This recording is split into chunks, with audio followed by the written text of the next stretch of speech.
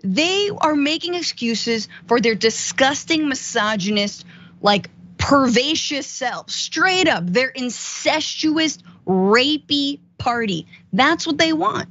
And if women have to die so they can get like sort of a pass for rape or incest, then that's cool too. They want that. And the second thing I want to say is hospitals, they are so, so, so worried about being sued. And now you have that being applied to women in the most basic reproductive health situations.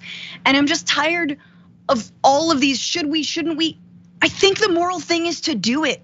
Look, I understand that people's licenses might be at risk. I understand that you know someone might sue you. So what? Do it. Just do it because you are saving a life and that is what the job is there to do.